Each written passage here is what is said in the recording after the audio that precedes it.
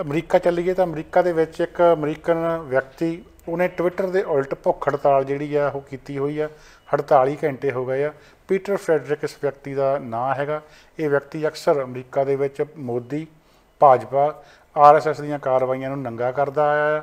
ਸੋ Peter Friedrich ਵੱਲੋਂ ਇਹ ਜਿਹੜੀ ਹੰਗਰ ਸਟ੍ਰਾਈਕ ਰੱਖੀ ਗਈ ਆ, ਉਹ ਟਵਿੱਟਰ ਦੇ ਸੀਈਓ ਜੈਕ ਡੋਰਸੀ ਵੱਲੋਂ ਜਿਹੜੀ 2.5 ਮਿਲੀਅਨ ਡਾਲਰ ਦੀ ਡੋਨੇਸ਼ਨ, ਇੱਕ ਸੇਵਾ ਇੰਟਰਨੈਸ਼ਨਲ ਨਾਂ ਦੀ ਸੰਸਥਾ ਵੱਲੋਂ ਨੂੰ ਦਿੱਤੀ ਗਈ ਆ, ਉਹਦੇ ਉਲਟ ਰੱਖੀ ਗਈ ਹੈ ਪੀਟਰ ਫੈਡਰਿਕ ਦਾ ਕਹਿਣਾ ਕਿ ਇਹ ਗੱਲ ਤੱਥਾਂ ਦੇ ਨਾਲ ਸਾਬਤ ਕੀਤੇ ਜਾ ਚੁੱਕੇ ਆ ਕਿ ਜਿਹੜੀ ਸੇਵਾ ਇੰਟਰਨੈਸ਼ਨਲ ਯੂਐਸਏ ਸੰਸਥਾ ਆ, ਇਹ ਭਾਰਤ ਦੀ ਰਾਸ਼ਟਰੀ ਸਵੈਮ ਸੇਵਕ ਸੰਘ, ਜਿਹੜੀ ਕਿ ਕੱਟੜਪੰਥੀ ਸੰਸਥਾ ਆ ਉਹਨਾਂ ਦੇ ਨਾਲ ਕੰਮ ਕਰਦੀ ਆ ਤੇ ਉਹ ਸੰਸਥਾ ਆ ਜਿਹੜੀ ਇੱਕ ਹਿੰਦੂ ਨੈਸ਼ਨਲਿਸਟ ਜਿਹੜੀ ਕਿ ਕੱਟੜਵਾਦੀ ਹਿੰਦੂ ਸੰਸਥਾ ਆ ਤੇ ਪੀਟਰ ਫੈਡਰਿਕ ਨੇ ਆਪਣੇ ਬਿਆਨ ਦੇ ਵਿੱਚ ਕਿਹਾ ਕਿ ਇਹ ਉਹੀ ਆਰਐਸਐਸ ਆਰਗੇਨਾਈਜੇਸ਼ਨ ਹੈ ਜਿਨ੍ਹਾਂ ਦੀ ਸੋਚ ਮਸੋਦਨੀ ਅਤੇ ਹਿਟਲਰ ਦੇ ਨਾਲ ਰਲਦੀ ਆ, ਇਹ ਭਾਰਤ ਨੂੰ ਹਿੰਦੂ ਰਾਸ਼ਟਰਵਾਦ ਦੇ ਵਿੱਚ ਤਬਦੀਲ ਕਰਨਾ ਚਾਹੁੰਦੇ ਆ।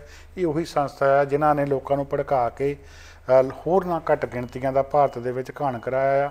ਈਸਾਈਆਂ ਅਤੇ ਮੁਸਲਮਾਨਾਂ ਦੇ ਉੱਤੇ ਵੱਡੀ ਪੱਧਰ ਦੇ ਉੱਤੇ ਹਮਲੇ ਹੋਏ ਆ। ਉਹਨਾਂ ਨੂੰ ਬੰਬਾਂ ਨਾਲ ਉਡਾਇਆ ਗਿਆ ਆ। ਉਹਨਾਂ ਨੂੰ ਕਤਲ ਕੀਤਾ ਗਿਆ, ਝੂਠੇ ਮੁਕਾਬਲਿਆਂ ਵਿੱਚ ਮਾਰਿਆ ਗਿਆ ਅਤੇ ਉਹਨਾਂ ਦੇ ਕਤਲੇਆਮ ਬਕਾਇਦਾ ਤੌਰ ਦੇ ਉੱਤੇ ਲਿਖੇ ਗਏ ਆ।